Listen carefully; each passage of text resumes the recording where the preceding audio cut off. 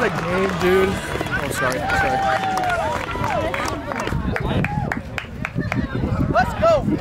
Sorry. Let's go.